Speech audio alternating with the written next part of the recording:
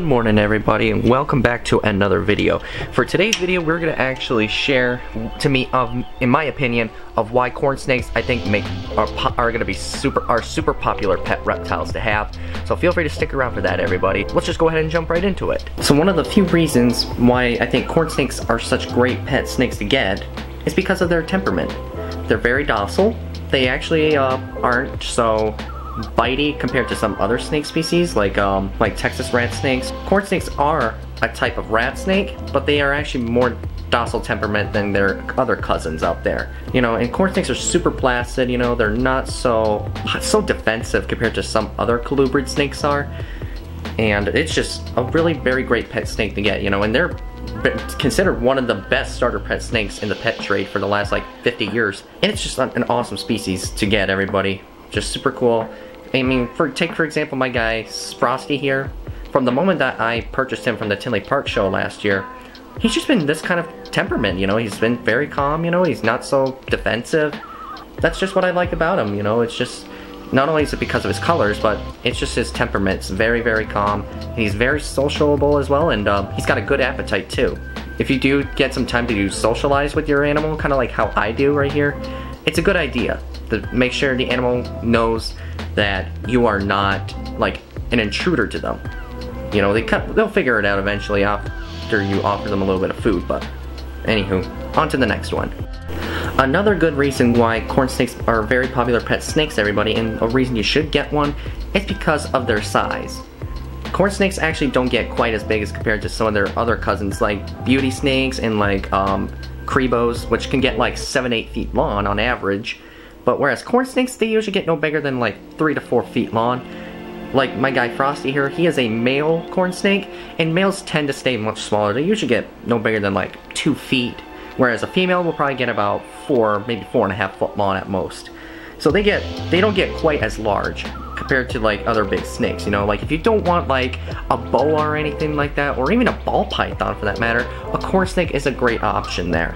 You know, they like I said, they tend to stay smaller and more slender, and they don't actually cause quite as much of a mess. So yeah, if you're looking for a decent snake that's that's a, about mid-range size, but it's not too small but not too big, corn snakes is probably the right choice for you. Another valid reason why that corn snakes, to me, are great popular pet snakes, everybody, is because they're inexpensive. And now what I mean by that is, is like, inexpensive means it's like, it's not that expensive, meaning it's at affordable price. Um, the average price for a normal baby corn snake will probably go for about $30 a piece on average, but there is a catch though. You guys probably do know though, in the reptile world, that there are many different morphs of corn snakes that have been produced over the decades, everybody. And it typically depends, like, the bloodline on them. If it has, like, for example, here, we got Ariel, and her morph, she's a ghost corn snake, which is between a, a the breed from an anerythristic and I believe an amelanistic. Ah, shoot, I can't remember what the genes are of it now. I'll have to Uh, I'll have to take a look at it here in a moment. When you actually combine those two different genes to make the ghost corn, the price is gonna go up. So, but when I got her from the reptile show several years ago, and this was like 2017 when I got her. Her the price on her was about $45, but to, in today's deal, it's probably close to about at least 100 bucks. We're talking about yeah, it sounds about right. $100 a piece now, which is a little bit a little bit pricey for a young corn snake, but hey, times have changed, everyone. Now, like I said, if you guys are looking for a specific morph of a corn snake, you gotta be, you know, specific about it. But if you just want a normal type corn snake, especially if it's a baby one, it's gonna be super affordable because, like I said, average price is probably gonna go $25, $30 a piece. Yeah, like I said, it depends, like, like I said, depends on like the bloodline and what what genetics are in it. If you just want to get a normal type corn snake, probably then that's gonna be the cheapest one you're gonna find. And the final touch, everybody, that I want to conclude on this um, on this video is one thing that you definitely need to know is that corn snakes they are known to are a type of rat snake so obviously they are, are going to eat rodents but they don't just eat random specific ones in captivity well maybe in the wild they do but in captivity specifically they are fed frozen thawed mice because it's a really got a lot of nutrition in it and not a lot of fat. Whereas if you were feeding them like frozen rats, you know, like small rat pups, that's going to contain a lot of fat, and if you feed them through that over the years, chances are your animal could get obese, and obesity is really, really bad for your pet reptile, especially snakes as well. And when it comes to affording food for your pet corn snake, it's really not that expensive. For example, like when I went to like my local pet store over the years to go buy some mice for my corn snakes, or all my snakes in general, a pack of them that contained like six frozen mice was about 12 bucks a piece, which I guess it's not too bad, but when I went to like a reptile show, or if I, act better yet, I went shopping online. For example, you guys like, I, I've done a lot of online orders from whether it's Rodent Pro or Cold Blooded Cafe. I prefer Cold Blooded Cafe to be honest with you. When I ordered from them, a single mouse there was probably worth like 25 cents a piece. Now if I was gonna get like, like 50 like medium mice in a package, that's probably going to be around between 50 and 70 dollars including that includes shipping by the way. Which is not actually that bad you know because when you've got so many rodents in a bag like that 50 to 100 rodents and it's going to be a lot more expensive but that actually can save you a little bit of money you guys. You don't have to like spend every couple weeks going to your pet store and buying like a small half a dozen small boxes of rodents for like 12 bucks a piece. Now if I went to a reptile show for some frozen rodents, chances are I think they are going to be really really really affordable there. Obviously you're not ordering online you know and they're not going to ship it to you. Instead you'd be buying it in person and that probably saves you quite a bit of money too. Like for example everybody, my girl Ariel here, she only eats a, a, gets one meal every 14 days and I ordered let's say a ship a package full of large mice for her, but contained 50 in, in the bag. How much mice like doing right there?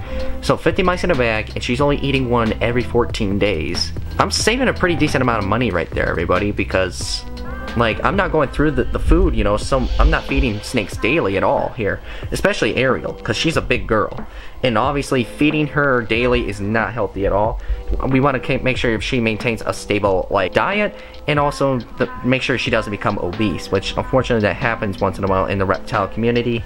Now, if we're talking about baby snakes, you know, like a baby corn snake, it's a good idea to feed one once every like four or five days per meal. And if I order a shipment of pinky mice, 100 pinky mice in a bag, and I'm only feeding one to hit to a baby corn snake every five days, I'm still saving a pretty good amount of money there, you guys. I'm probably saving up for almost a year right there. Almost a year.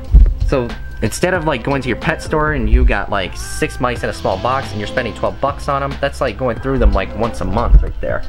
So if you that's why a lot of people kind of like to do online shopping a whole lot more than going to the store in person because it kind of actually does save a little bit of money. And there's some once in a while there could be a discount on there too. But yeah I kind of transitioned over from going to my local pet store from getting rodents to now doing online shopping for the food there since it's a lot easier and it's actually uh, helps me save a little bit of money over time too which is absolutely awesome. So yeah let me know what you guys think in the comments down below. Anywho that's pretty much all I got to conclude of why I think corn snakes are one of the most popular pet snakes on the market and definitely a, reason why, definitely those reasons why you should probably get one. Let me know what you guys think in the comments below. Do you, do you think corn snakes are awesome pets? Do you think they're kind of overrated? You be the judge yourself. That, I got pretty much all the conclusion there, everybody. Now let's go ahead and check, see what the fam is up to today. Okay, so we're supposed to guess our own score predictions and who we think is going to win today. For which win? Uh, for both games. So I'm going to start, okay? okay? I'm going to say the Ravens beat the Chiefs by 10, 31 to 21. And then you go for your pick. Okay, I'm going to say Chiefs got this one 28 to 14. Okay, 28 to 14. And what do you think, Adam? Mm, 31 24. Baltimore or, or Baltimore? Baltimore? All right. Yeah, the Chiefs all right. Didn't say I wasn't a Chiefs fan. All right, so that's one game, and then we'll, after this, we'll have to do Lions and uh, 49ers. Idiot. Well, unfortunately, uh, the first round, Kansas City and Baltimore, I was bummed out. Mom uh, was the lucky winner. Show off. But now we are on to the big game here. Detroit Lions and the 49ers, everyone. For my score prediction, I'm going to say Detroit wins in an upset by 7. 27, San Francisco 20. What's your guys' call? I was going to say 27-21 Detroit. Okay, so pretty much close to the same as mine. And for you? Well, geez, now I got to do something different. Here, take a look at Boo for a minute. 28 21. Detroit? Yes. All right. So our score predictions, they're very close. Yeah. So I'm taking Detroit on this one too. We're all rooting for Detroit, you guys. You better win this. What a loser! Unfortunately, as for the other game, everybody, the 49ers came out on top with the three-point win, and I don't know what happened to Detroit. They were literally in the lead at the half, 24-7, and just blew a 17-point lead throughout the third quarter, and just, I don't know what happened, but anywho, the stage is set, everyone, for the Super Bowl. We got Kansas City taking on San Francisco. It is a Super Bowl rematch from Super Bowl 54, and uh, right now we're going to go ahead and uh, we'll cast our votes here pretty soon. Feel free to smash that like button, everybody, because I'm going to go ahead and head to bed here because it's getting late. So I'll catch you guys in the next one. Peace out.